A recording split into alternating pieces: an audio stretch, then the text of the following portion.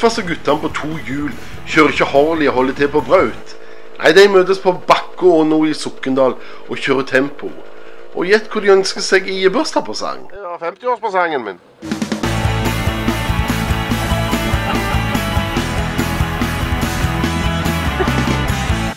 Det var eneste jeg fikk.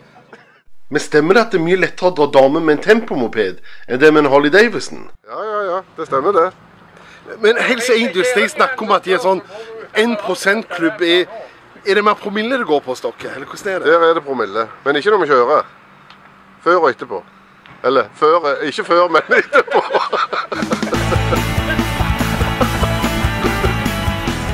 Er, er, det, er det veldig anspent mellom dere og Vespa-folket? Nei. De er faktisk begynt å kjøre i lag med oss. Så nå, siste turen vi hadde nå på onsdag, da var det faktisk to Vespa med oss.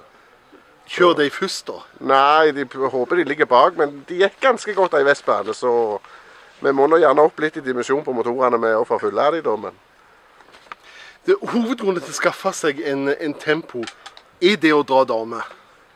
ja, det vil jeg si. Men de er jo hjemme nå, da, mens vi er på tur.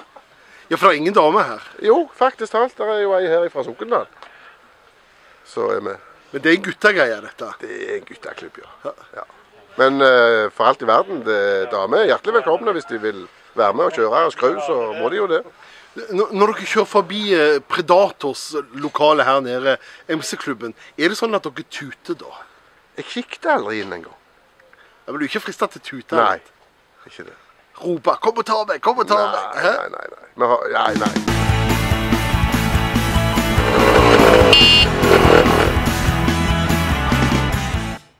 Det er 23 000 registrerte tempokjøretøyer i Norge i dag, og 5000 av disse er medlemmer i Tempoklubben. Det er den største veteranklubben i Norge. Og alt dette takket være Jonas Øglen på Sandnes. Gammel er han?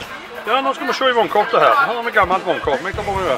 Maria Undheim, Ålgård, RH6683. Førstegangsregistrert 505077. Her er dokumentasjon. Og, og hvem er denne Marie? sa Marie er faste til kona mi. Og hun er da eh, vært aleine lenge og kjørte moped, husker vi, i gamle dager. Og denne hadde, Den andre mopeden hun kjøpte så lenge hun levde. Men jeg har ikke den første. Og dette er sånn som holder Ja, evig? Ja, ja, evig og alltid. Det er ingen problemer med det. Han har stått i tre måneder, tok han ut, og så starta han med en gang.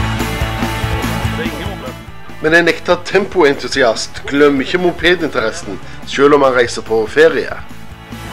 var på ferie i. Så parkerte vi i parkeringshuset der som den gamle rutebilstasjonen var.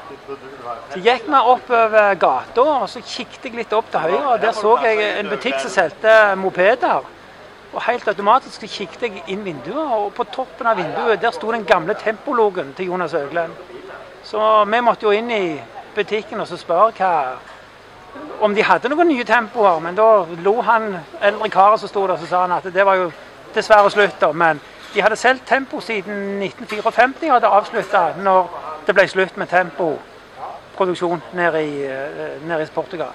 Men han hadde ennå 15 treskuffer med forskjellig temporelaterte ting. Eh, Fjører, vaiere, eh, smådeler. Og det er himmelen for deg. Fjøre, Ja, ja, veiere. Når du hører fjøre, veiere, da er det Nå er det helg. Nå er, nå, er det, nå er det nummeret før det kom rett opp, ja. Helt klart. Så vi handla litt av det han hadde, og tok av gårde. Og han sa det at det var flere som hadde spurt om å få kjøpe vinduene. Kjøpe vinduene. Yes, som han, nå, Den gangen han skulle bytte dem, men han hadde ikke hatt samvittighet til å bytte vinduene ennå. Så, så tempofolk de er i stand til å kjøpe vinduer. Tempofolk kjøper det meste, bare det står en tempologo på det. Det gjør de.